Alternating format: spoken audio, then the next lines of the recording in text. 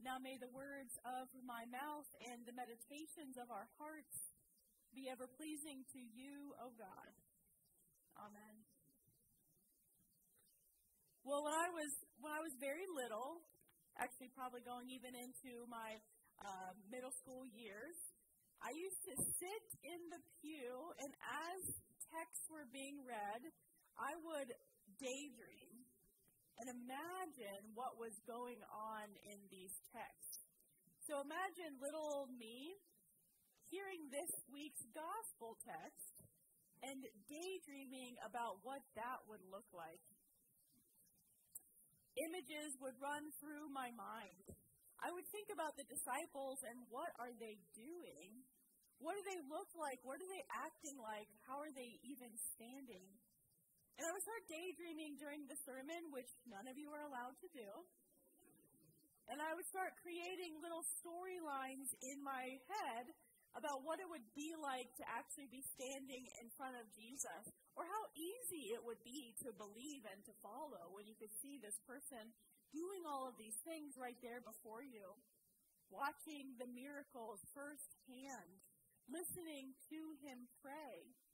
I kept thinking it would be so easy to solve all the world's problems if Jesus was just right here before us.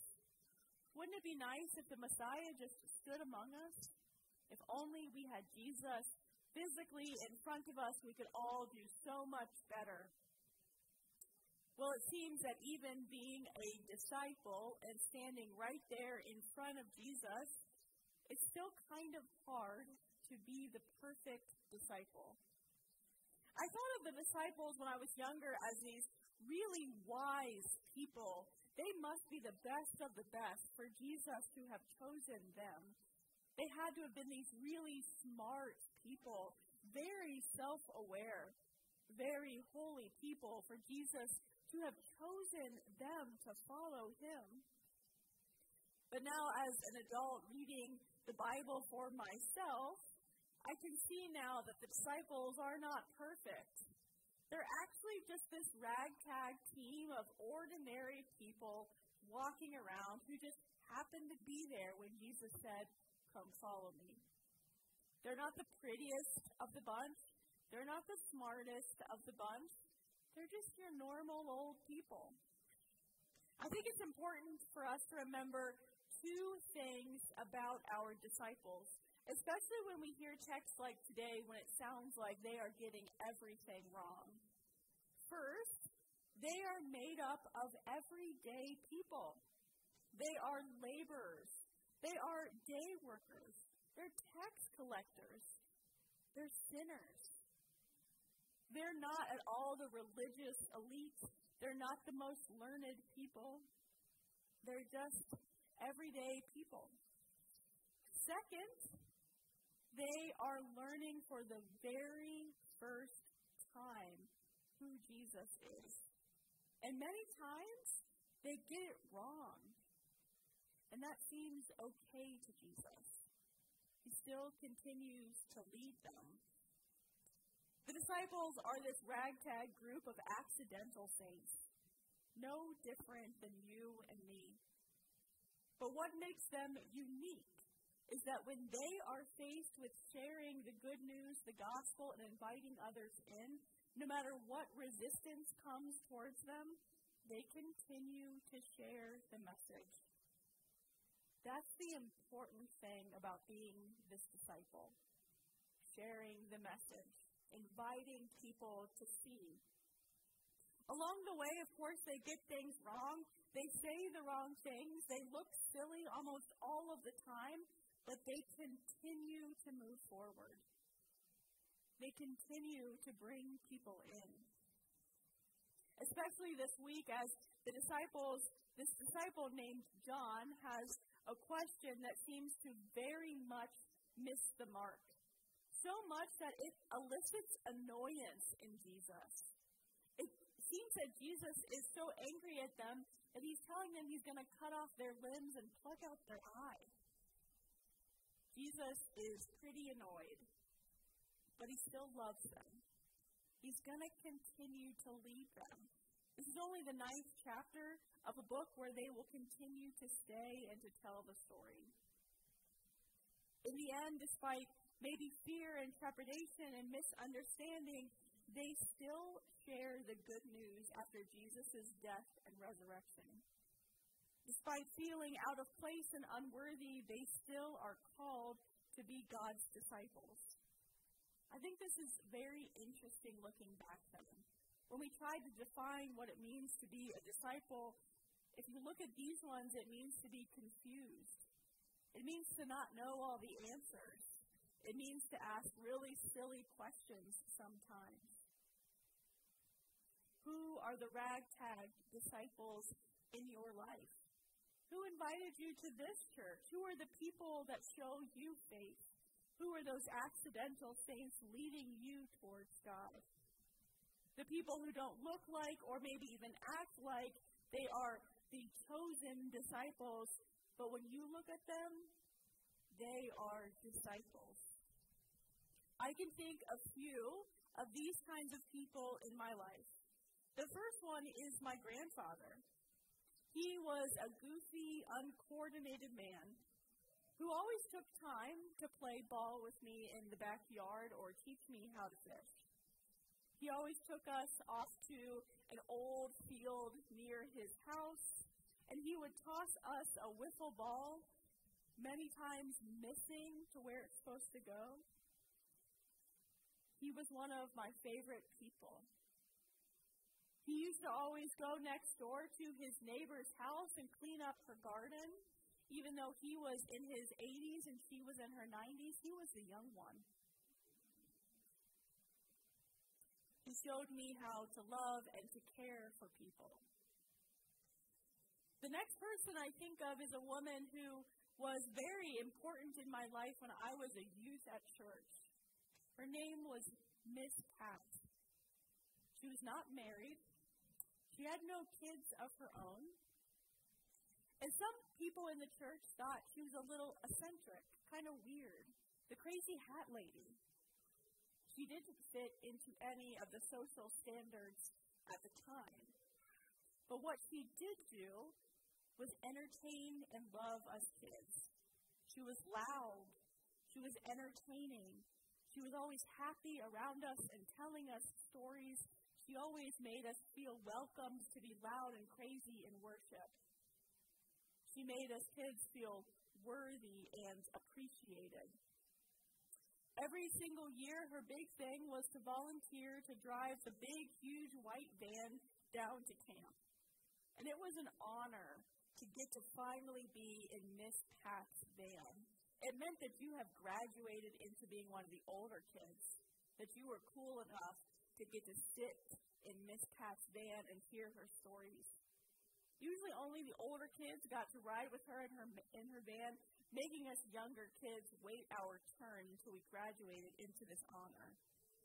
We would sing songs along with her. We would hold conversations with her, and we would listen to her responses to our teenage stresses.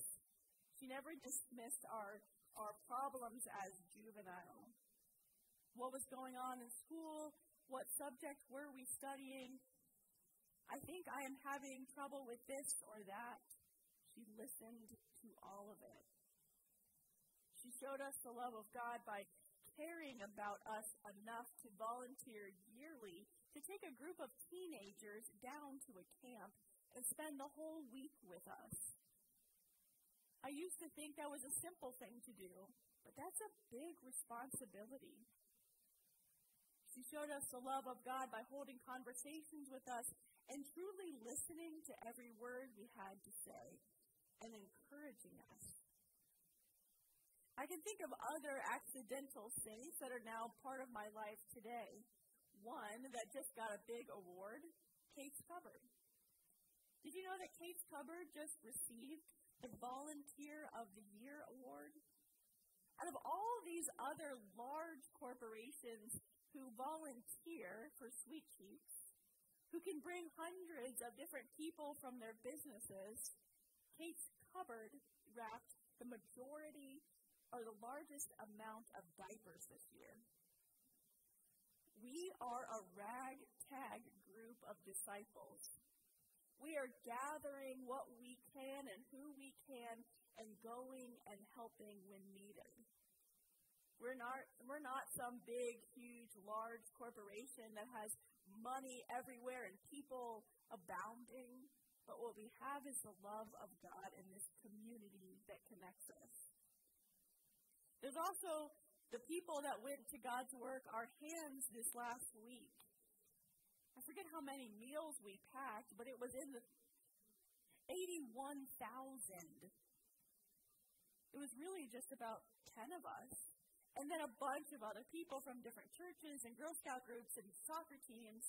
But all together, we packed 81,000 meals to be shipped. And then there's those people that go every week or every month to Tikkun Farm. And they clean up things and they fix things and they chop things. And they put together meals to then be sent out all throughout the month. And then there's the group of people that's always feeding and organizing for Feed Your Neighbor.